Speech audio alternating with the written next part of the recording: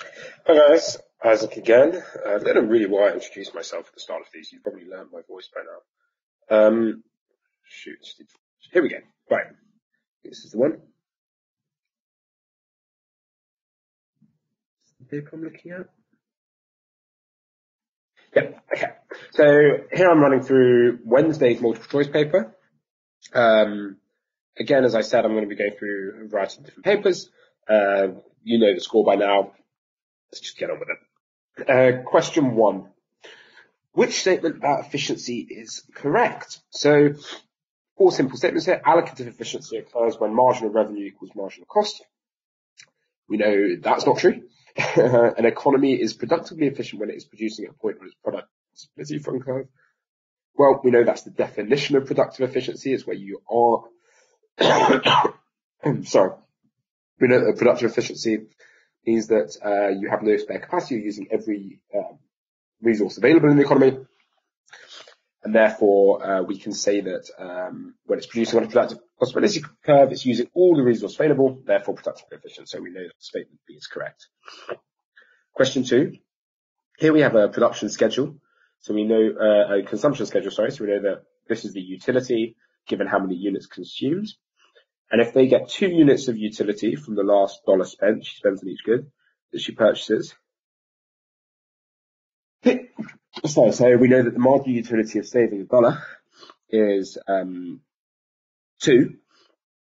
So what's the maximum number of units of X that she will consume if the price is five? So five units, she's producing four.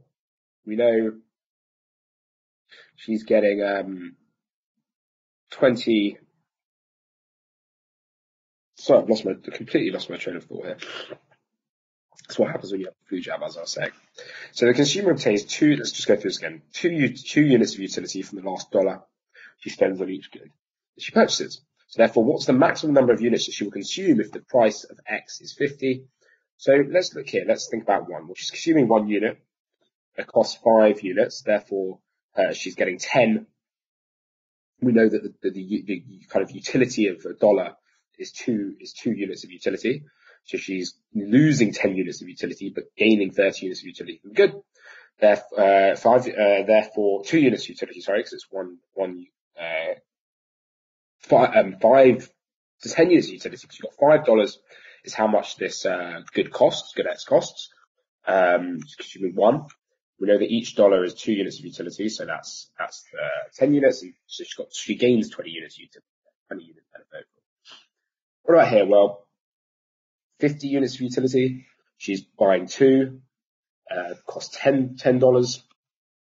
Uh, therefore she's losing 20 units of utility, but we know she's getting 50 units, that's fine. So we're looking for the point where the unit cost, cost in utility terms of purchasing these units goes above the uh, utility. So let's look here uh, kind of assessing our answers. Let's look at A or three. So is she going to purchase three? Well, she would purchase three. We can run that calculation, but let's see four. We've got four. She's purchasing four of the units, spending 20 $20. Uh, we therefore know that the, uh, it's, it's two, two units of utility from the last dollar spent. Therefore, we know that, uh, she's kind of spending 40 units of utility, but that's still ahead. What should we go to here? Well, let's look at five. So she consumes five units of utility. She's spending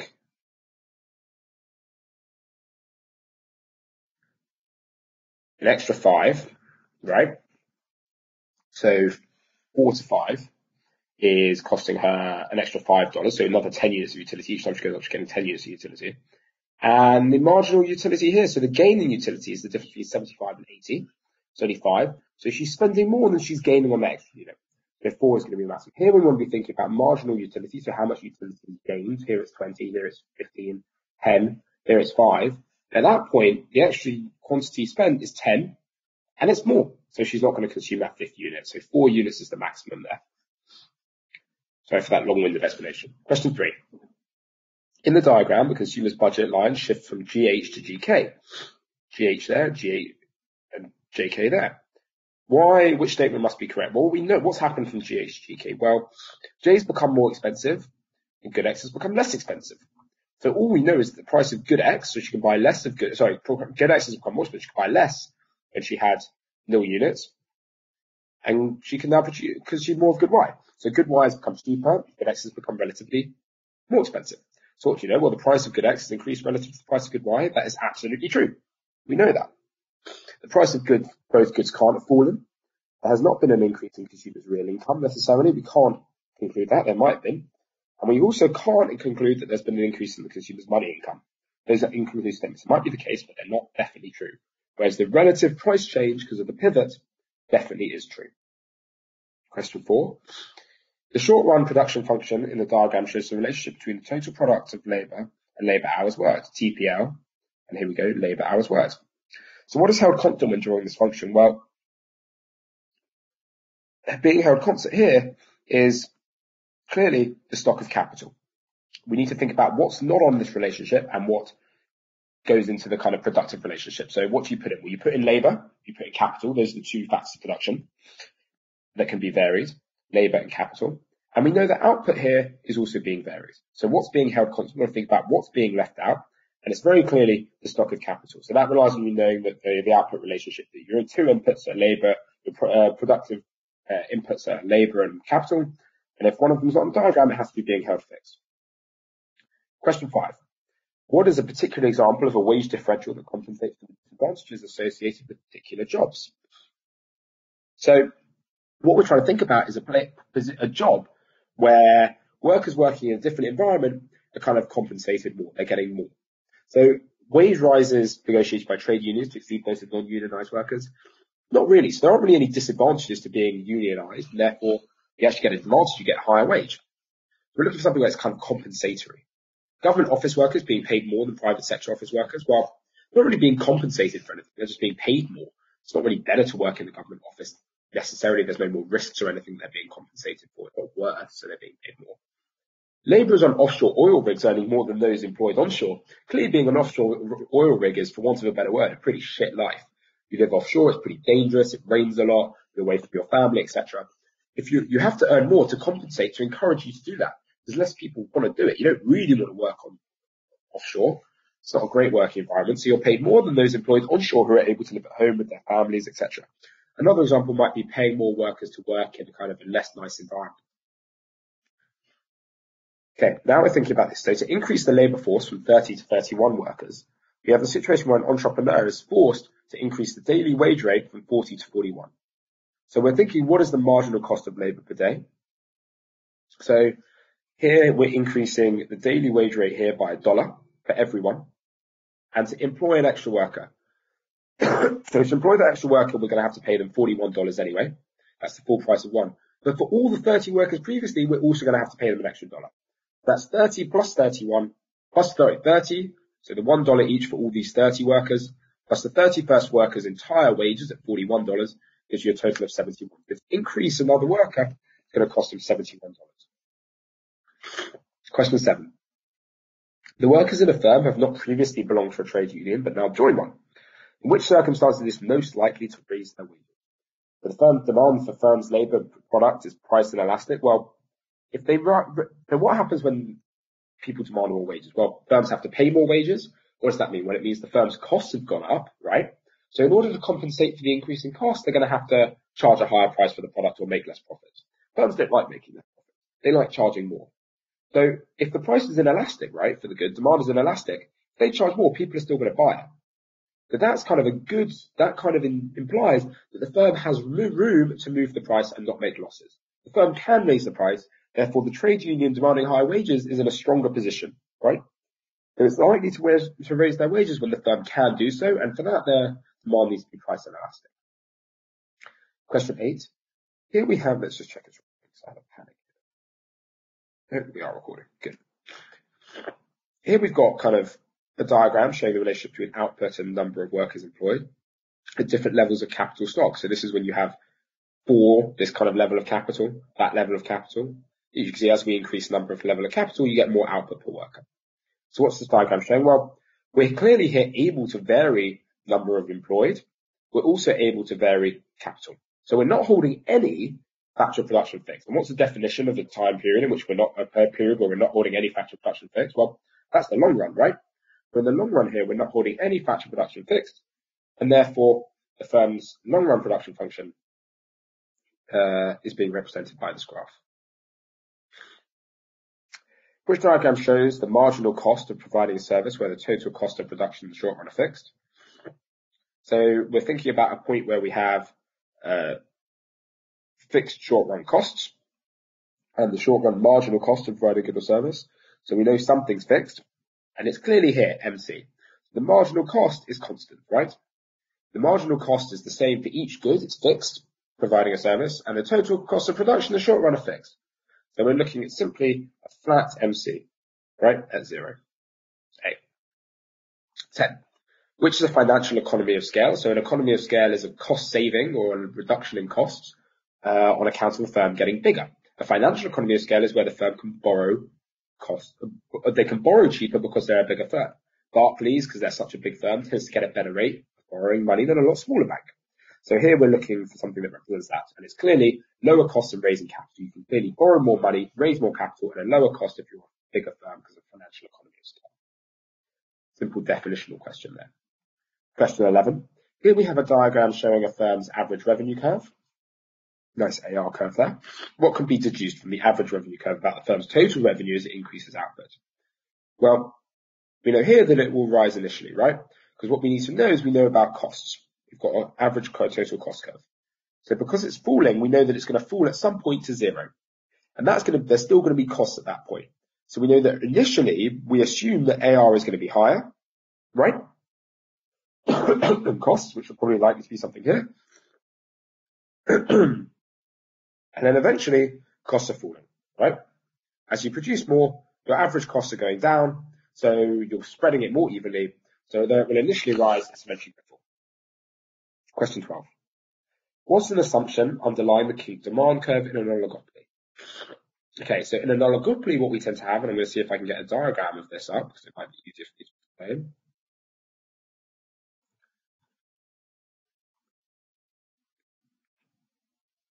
Right, here we go. Lovely. Ooh, here we go. Right.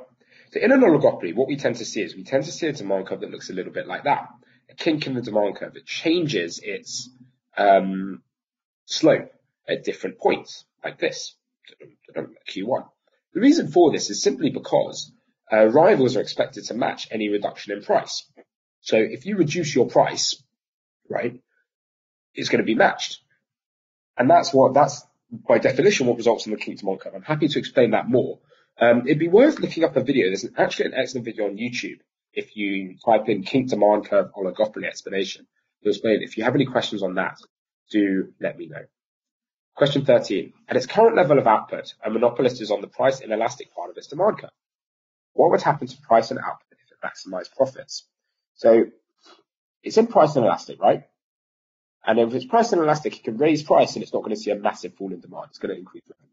So what can it do? Well, it can there, at that point, it can increase its price right? Because maximizing profit.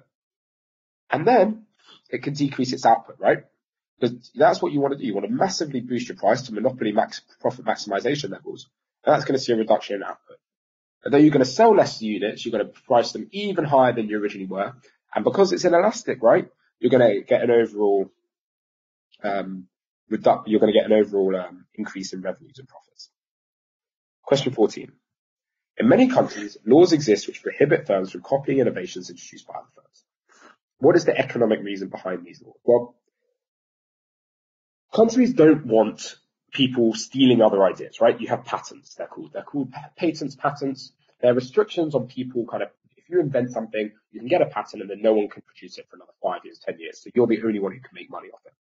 And the reason being is because if you put a load of money and effort into inventing something, you want to be the only one who can sell it. You want monopoly power. And it's one of the incentives to get people producing. You have to introduce this kind of type of monopoly power in order for people to be able to, well, innovate. Otherwise, no one's going to want to do it.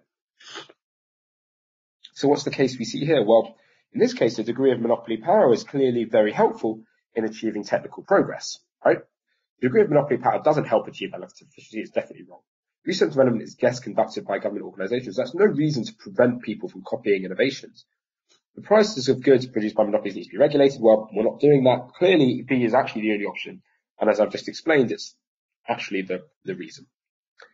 Question 15. Which policy change will make some individuals better off without making any worse off? Right? So we're looking for something that allows for Pareto improvements. So introducing a national minimum wage does not make anyone worse off. It make, does not make everyone better off. It makes firms worse off. They've got to pay people more. Free bus travel for those over 60 you've got to pay for that somehow. So it's probably going to make some individuals better off, those over 60, but it's going to make people worse off. Maybe bus drivers who might not get as much revenue if people driving on their buses, councils who have to spend more money, and taxpayers who have to fund this increase. What about removing restrictions on opening hours of supermarkets? Well, it's clearly not going to make the people who work in the supermarkets better, right? They're going to have to work harder, and it's going to increase costs for supermarkets to stay open. So it's not going to make everyone better off. But we're looking for something where you've simply got trade. Trade is a Pareto improvement where someone has something that they don't want and someone has something they do that, someone else wants something that someone else has, they don't want, they can trade, and it makes everyone better off. So we're looking for that kind of trade or buying and selling environment, bartering environment. And one of these things is in milk quotas. When you set a quota, some people clearly won't need to produce as much as the quota. If you say I can produce 150 tons of coffee a year, and I'm only able to produce 100, what good is it me having the ability to produce 50 more tons if I can't do it? Another firm might say, well, I produce 200. I've got loads of labs. I can produce 200 tons, but I'm only allowed to produce 150. What if the person who had that spare capacity was able to tell the guy, well, hey mate, you want to produce 200. I've got spare 50 here. I'll give you the spare 50 if you give me 100 quid. Clearly, that's a Pareto improvement. Everyone's better off. No one's any worse off because the quota remains the same. The amount of coffee being produced is still exactly the same as it was before. It's just that you're spreading the, you're kind of, instead of evenly distributing it, you're evenly distributing it and then allowing people to trade it money. So clearly, allowing farmers to buy and sell milk quotas is what we call a Pareto improvement. It makes individuals better off without making anyone else worse off. Sorry. Question 16. Here we have a good giving rise to external benefits and is produced under conditions of monopolistic competition. If it's being produced, what do we know? Well, if it gives rise to external benefits and it's being produced, social benefits must exceed private benefits. That's a definition of an external benefit, right? There's external benefits and it's being produced. The social benefits must exceed the private benefits. That's just the definition of external, external benefits existing. A pretty easy question there. Question 17, you've got a woman joining the labour force earning a salary of 25,000 a year, per annum as a year. Her partner already earns 18,000 per year. The couple pay a childminder 8,000. It's a very progressive question. Women earning more than men. Good. I'd like to see that in exams. The couple pay a childminder 8,000 a year to look after their baby. What will be the increase in GDP? Well, what's the increase in GDP? Well, she joins the, the, the 18,000 per annum doesn't factor into our GDP point, okay? That's already there in GDP. We're looking for increases. So what's going to be an increase? Well, this 25,000 per annum is earned, and then the couple take 88,000 of that and pay a childminder who then earns 8,000. Both of those increase GDP, remember. But though the 8,000 is coming directly out of this 25,000 and 18,000, it's still an increase in GDP. This is part of the multiplier effect. So all we're really looking to do is say this 8,000 plus 25,000 is the increase in GDP equals 33,000. Question 18. A central bank is purchasing government securities as part of a policy of quantitative easing, which is where the government increases its money supply by buying, basically selling government bonds. What is likely to be the effect on interest rates and the supply of money? Well, we're likely to see interest rates go down, and we're likely to see money supply go up in this case. The reason being, so when you have quantitative easing, interest rates go down because the government's flooding it with cheap bonds, and therefore there's a reduction in interest rates. That's price of interest rates is the is the price in the uh, market for loanable funds. You see an increase in loanable funds, so increase in supply is going to drive the price down. It's what we call crowding out. Interest rates go down. Right, money supply. Well, quantitative easing is a way of increasing the money supply. You're selling more kind of government bonds on the market. Therefore, knowing what quantitative easing is, the supply of money is going to increase. Question 19. An econ- economy is operating at its natural rate of unemployment. So economies have a natural rate of unemployment. This is something I'm happy to explain more. NAIRU, natural adjusted inflation rate of unemployment. Uh, something that's a little bit more complex university level concept, but there is this natural rate of unemployment in the economy. According to monetarist theory, what will be the effect of an unanticipated increase in the money supply on unemployment in the short run and in the long run? Well, in the long run, there's going to be no change, right? No change in unemployment. Everything gets back to equilibrium. But if you suddenly unanticipated, have an unanticipated increase in money supply, firms are going to have more money to spend, they can pay more people, and therefore we're going to get a reduction in unemployment in the short run. So the economy improves in the short run, but in the long run it adjusts just in an economy in which there is full employment, the marginal propensity to consume of pensioners is greater than that of taxpayers. So pensioners spend more money. If you decrease the government expenditure on pensions, you give pensioners less money, what's going to happen? Well, we know that the marginal propensity to consume of pensioners is greater. So if you give a pensioner a pound, they're going to spend more of that than taxpayers are likely to save. Now we've they flip this question on its head, which is going to be the complicated part, because we're now decreasing pensions. If we increase pensions, we'd see a positive multiplier. But because we're decreasing pensions, we're going to see a negative multiplier. So the reduction uh, to maintain full employment, so the reduction is going to be greater than 20 billion, right? We're going to see a greater billion reduction because the people who are getting the kind of cut in government spending, right? The decrease in expenditure on pensions, they would have spent more. So we've got to have a greater than 20 billion loss. So therefore, to maintain, maintain unemployment, we need to give these people the taxpayers a lot more than 20 billion because of their lower marginal propensity to consume in order to compensate for that. And the way we give taxpayers more money is we basically cut their taxes. So we're going to have to reduce their taxes by more than 20 billion in order to compensate for that decrease in pension contributions from the government. Question 21. Here we have a table showing some data for an economy. Let's get the data looking nice. There we go. What do we have? Well, we're looking for the equilibrium level of national income. Okay. So what we have here is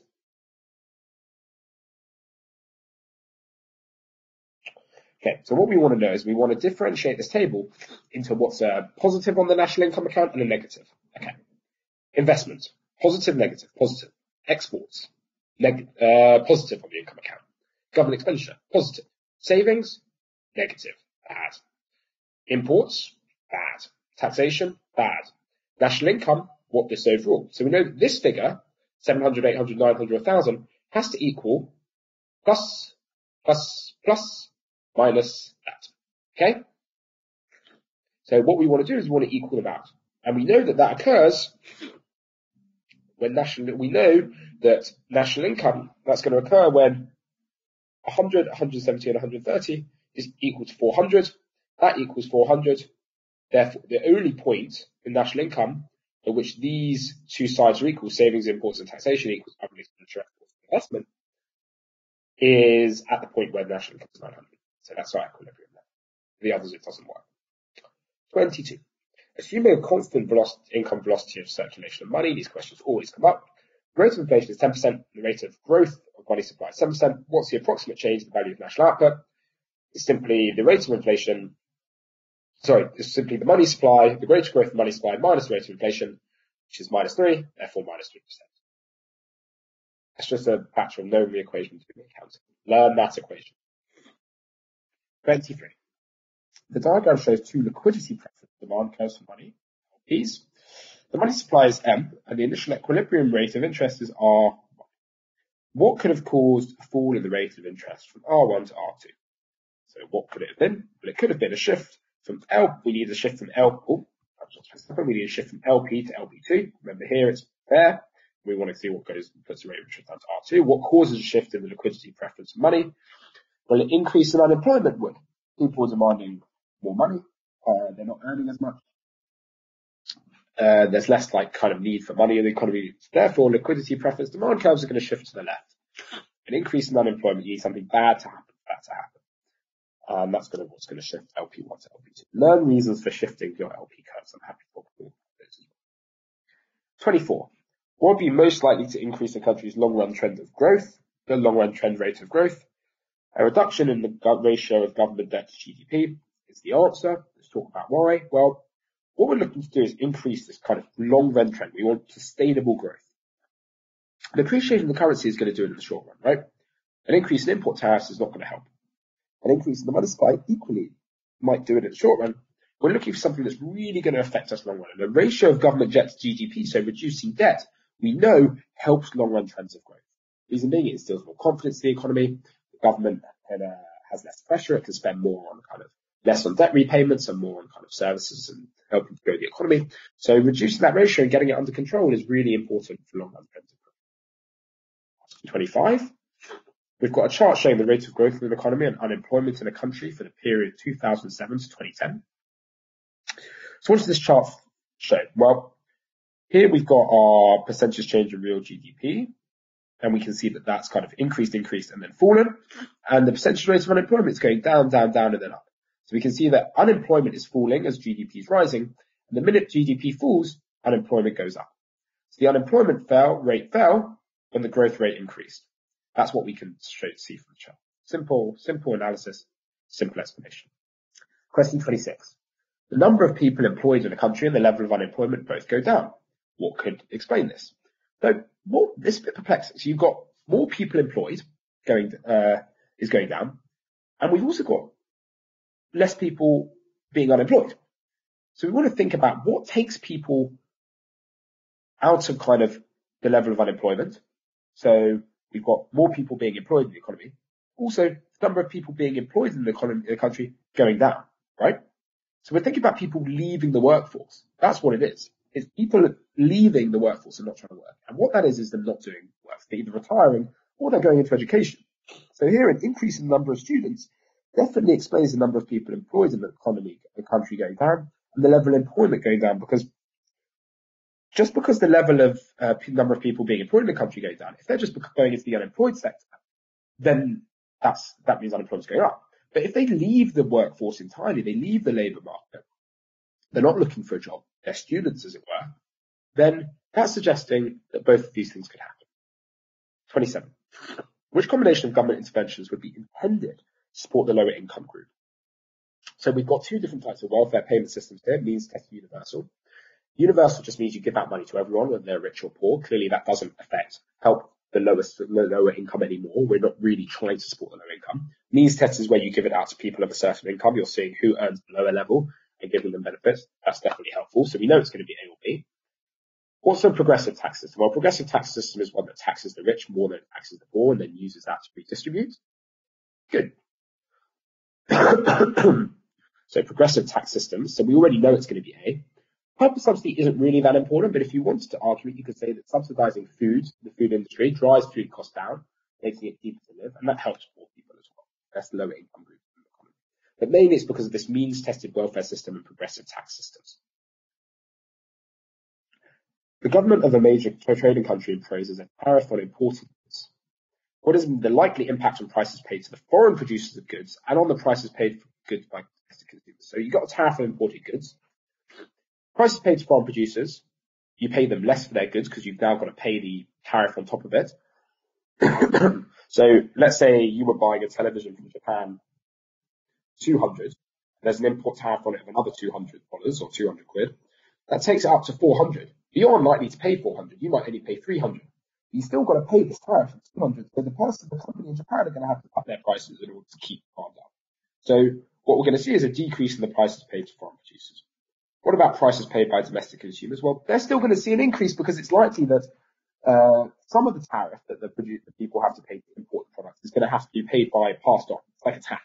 We're going to see an increase in prices and a decrease in prices. And the tariff is kind of the wedge between that. The same way taxes work. 29. In which set of circumstances is an economy likely to experience both falling inflation and at the same time falling unemployment? Well, when do we see like inflation going down? It's when we have um, unemployment above the natural rate, firstly, and also this above the long-term trend of growth. That's likely to see falling inflation. And falling unemployment also occurs when we have unemployment above the natural rate because we want it to come back down to the natural rate. And also growth means more people are being employed in the economy. So clearly this combination A that's going to result in those two, two effects. Question 30. If the unemployment that exists in a country is judged to be mainly structural, structural unemployment is where there's something fundamentally wrong with the economy and that's why we have unemployment.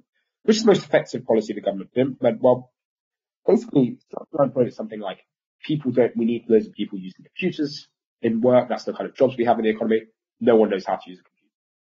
So they can't be employed. That's a structural problem. The jobs and skills people can work at in the economy doesn't match up with what the economy actually needs and what the jobs are. So we're looking for something that kind of trains that. Not, it's not a problem of getting people into work. There's demand for labor and supply of labor. It's just they don't match. That's a structural problem. So by increasing subsidies for training, we're making training cheaper, making education cheaper, and we can now retrain all these workers who want to work and give them the skills they need to then work in the economy and match the skills they have to the jobs that are needed. So that's going to kind of reduce our structural unemployment. That's a quick run through of that paper. It's a little bit more tricky than the other paper, I accept. So, so you'll probably have some questions. Uh, and yeah, drop me a message. I look forward to answering them. Let me just find out where my screen is. Thanks. Uh, have a good evening and let me know whether you have any questions.